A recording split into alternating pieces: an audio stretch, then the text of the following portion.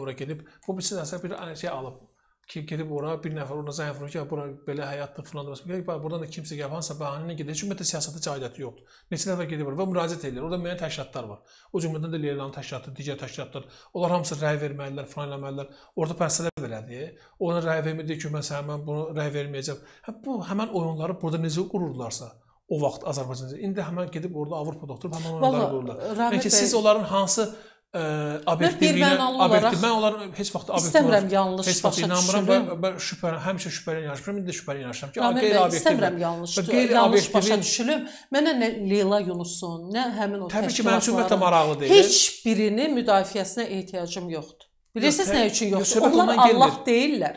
Onların siyahısı ilə də heç kəs bu günləri azadlığa çıxmayıb. Təbii ki, onların ilə yəni, də bu günləri siyasi məhbus adlandığımız şəxslərin həqiqətən də şəxsi siyasi məhbus olmağı şübhəlidir, şübhəlidir. Axı bu mən ona niyə inanmıram ki? Mən sənin fəaliyyətin mən göz qabağımdadır. Bilirəm Bəli, ədalətivi görürəm. Bəli, ona görə mən, mən sənə niyə inanmıram? Niyə sənə həmin insan siyasi məhbus mən deməliyəm? Bəli. Xeyr olamağını deməliyəm. Çünki sənin öz marağın daxilində olan Sən bu günləri bu cür ədalətsizlik eləyirsənsə, Sabahları kimə qarşı ədalətsiz olacaqsansa, mən sənin nə üçün yanında olmalıyam?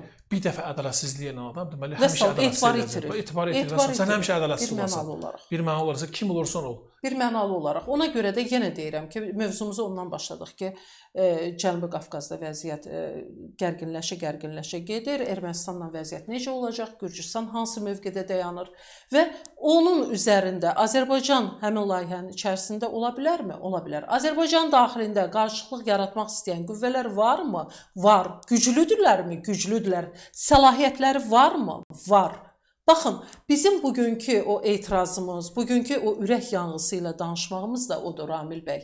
Siz Azərbaycanın tərkibində elə bil məxsusi olaraq bir narazı kütlə yaradırlar. Məxsusi olaraq narazı kütlə yaranır. Uşaq pulu vermirlər, amma beynəlxalq tədbirlərə milyardlarla vəsait xərclənir. Bilirsiniz, uşaq pulu verin, və milyardlarla da vəsaiti beynəlxalq tədbirlərə xərcləyin. Bir nəfər danışmaz. Biz onlar gələn verişdə bir nəfər o məsələ ilə bağlı danışaq. Bəli, yaxşı olar. Uşaq pulu məsələsi. Bəli, bəli. Bəli, o məsələ çox ciddi məsələdir. Özə bu sosial yardım məsələsi, o yenə də deyirəm ki, biz kanalımızda yayımlamışıq. Bizim tamaşaçılarımız istəsələr baxsınlar.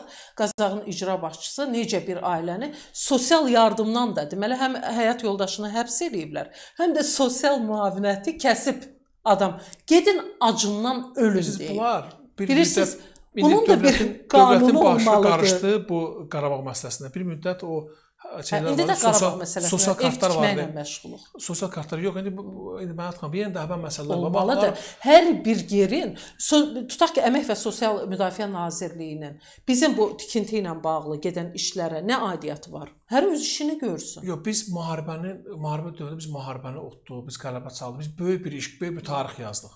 İndi bu həmin periodda müəyyən insanlar yenə də e, sui-istifadə edib, siz deyən insanlar sui-istifadə edib müəyyən addımları atdılar, amma onlar bilməsinlər ki, o qarşılıq yaratmaq istəyənlər, burada nə bilim e, hansısa bir artıq hərəkət etmək istəyir, dövlətə qarşı müəyyən e, problemlər yaratmaq istəyənlər bilsinlər ki, onların burnu mütləq əziləcək.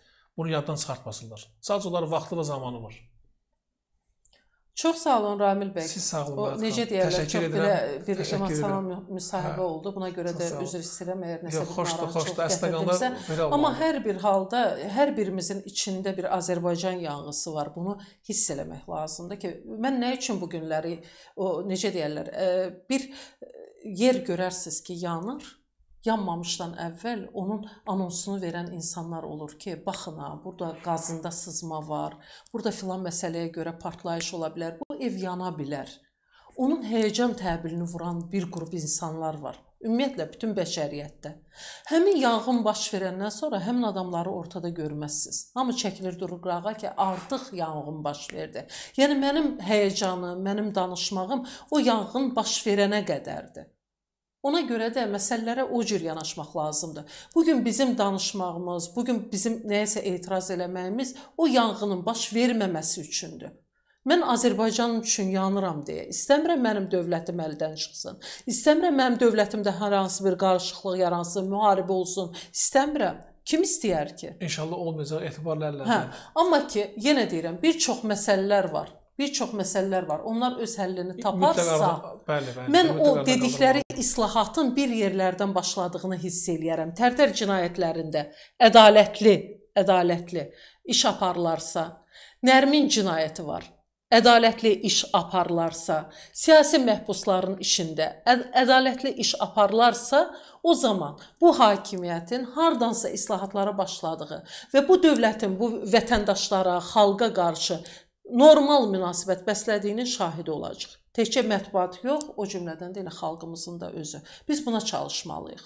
Biz bunun istiqamətində iş görməliyik İnşallah. və bunu istəməliyik. Çox sağ olun. Siz Təşəkkür sağ olun, edirəm. Mən təşəkkür edirəm. Sağ olun. Müsahibimiz Yeni Xətt Siyasi Tədqiqatlar Mərkəzinin rəhbəri Ramil Hüseynli idi. Onunla gündəm müzakirə etməyə çalışdıq və xatırladım ki, verilişimiz ərəfəsində səsləndirilən məlumatlar haqqında daha ətraflı xural.com saytından öyrənə bilərsiniz. Xuralın X platformasını, TikTok, Facebook, Instagram, Telegram səhifələrini, Xural TV-nin YouTube kanalında izləməyi, bəyənib paylaşmağı unutmayın. Təxminən yarım saatdan sonra yenidən efirdə olacaq. Bizi izləməyə davam edin ki, vaxtınız və vaxtımız hədər getməsin. Sağ olun.